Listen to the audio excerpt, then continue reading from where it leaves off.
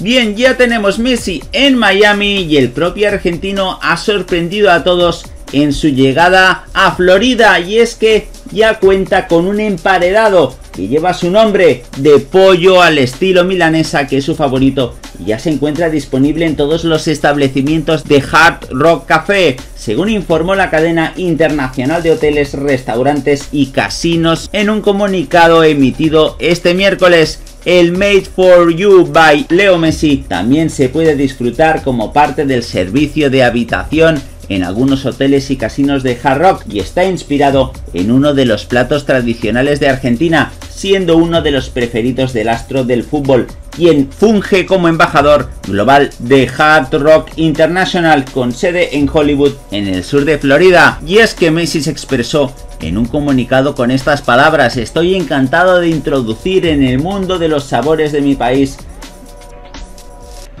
con el lanzamiento de mi propio sándwich de pollo inspirado en uno de mis platos favoritos, la milanesa. No hay mejor socio que Hard Rock International para hacer esto realidad.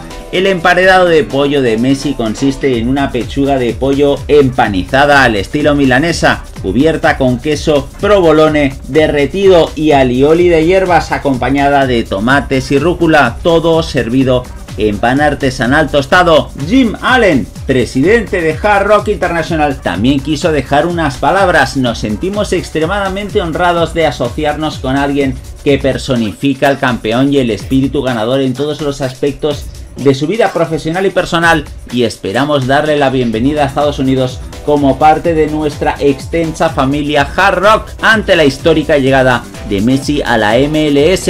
Este anuncio se da a conocer después de un solo día de la llegada de Leo Messi a Fon Lauderable junto a su esposa y sus tres hijos. Y seguimos con más noticias de Messi y en este caso hablamos a nivel de selección. La indumentaria del capitán de la selección albiceleste ya se encuentra expuesta junto a la del francés Kylian Mbappé en una exhibición en honor a la Copa del Mundo de Qatar 2022. Messi lideró a su selección con goles decisivos, recordemos, 5 de los 7 goles que anotó fueron con el marcador 0-0 y 3 de ellos fueron de penalti en la primera mitad, incluyendo el primero de sus dos goles en la final.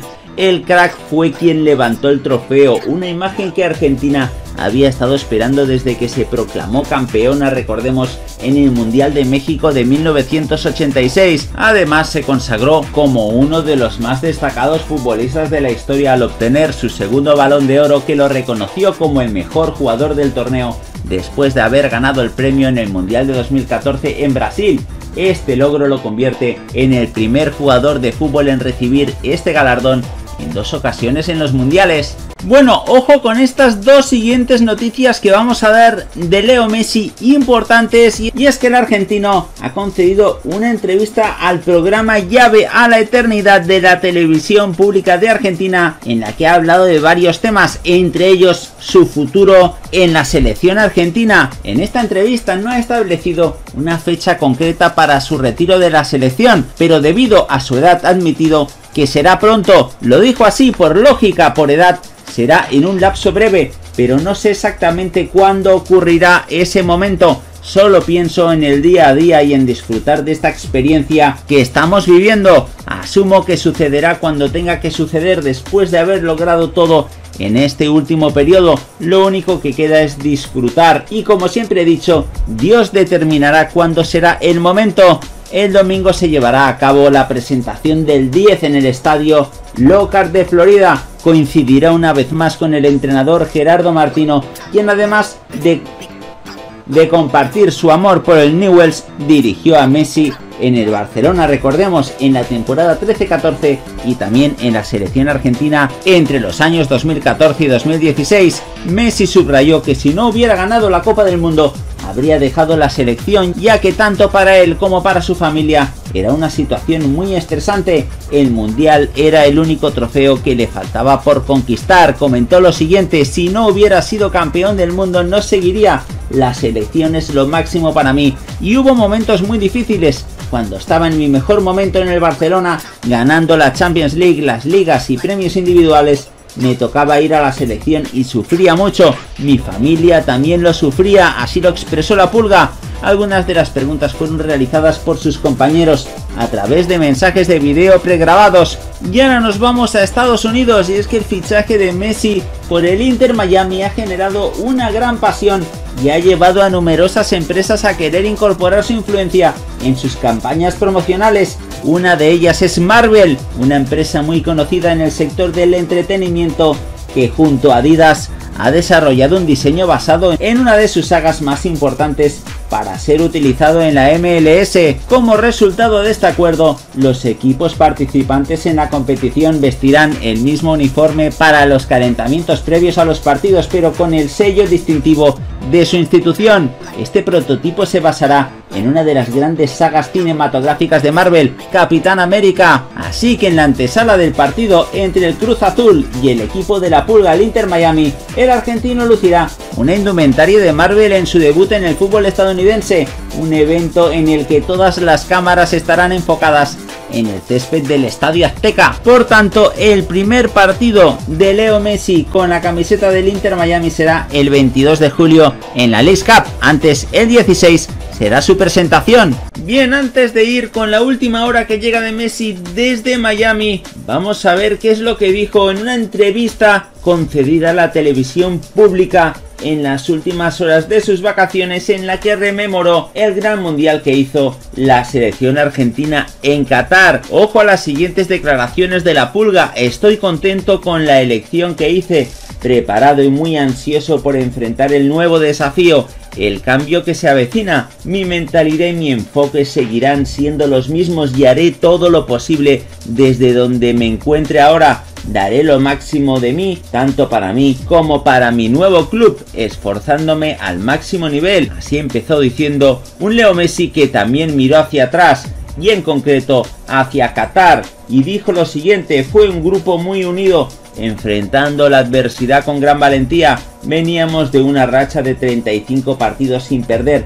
y no sabíamos cómo reaccionaríamos después de empezar perdiendo. El nuevo astro de la MLS elogió la fuerza humana de la selección argentina con estas palabras, había muchos jóvenes para quienes era su primer mundial. Decía que el primer partido era el más difícil. Este grupo demostró que no le importaba nada y que era muy fuerte, pero que quedaba por demostrarlo y frente a Arabia lo hicieron. Finalmente, el propio Messi confesó que se siente aliviado con la tercera estrella en el escudo del albiceleste. En Argentina atravesé momentos complicados y fui objeto de muchas críticas vi que había una generación de jóvenes que me defendían a capa y espada, peleando por mí. Eso es hermoso para mí. Les agradezco todo el cariño y el esfuerzo que pusieron. También fue una gran satisfacción para ellos. Todo esto lo comentó Messi, como decimos, en sus últimas horas de vacaciones. Y es que Leo Messi a esta hora ya ha llegado a Miami en concreto. Fue este martes para iniciar su nueva andadura en la Major League Soccer con la camiseta del Inter de Miami.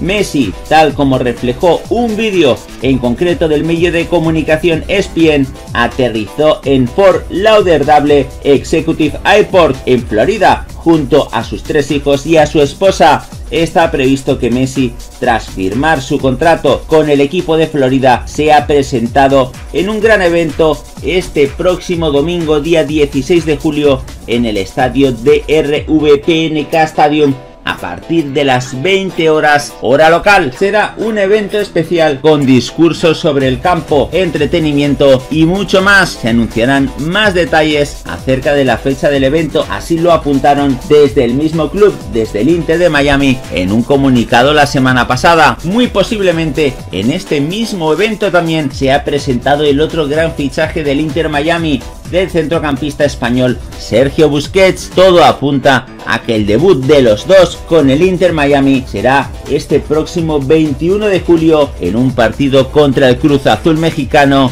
en el torneo de la Leagues Cup. Bueno chicos, antes de la inminente llegada de Leo Messi a Miami, el argentino sigue apurando sus vacaciones y en estas últimas horas su esposa Antonella Rocucho ha subido una serie de imágenes a su Instagram en la que muestra lo bien que se lo está pasando toda la familia Messi en las maravillosas playas de las Islas Bahamas. Mientras tanto, en Estados Unidos ha saltado una noticia estaban esperando desde hace tiempo los fans de Leo Messi, en concreto sobre la presentación del astro argentino como nuevo jugador del Inter Miami, y es que la MLS americana desea transmitir una parte de dicha presentación en la media parte de la final de la Copa Oro. La final se disputará este próximo 16 de julio, domingo, en el Sophie Stadium, justamente como decimos a la misma hora en la que el Inter Miami a través de un comunicado citó a la prensa que habrá un evento llamado The Unveil en el cual nunca se mencionó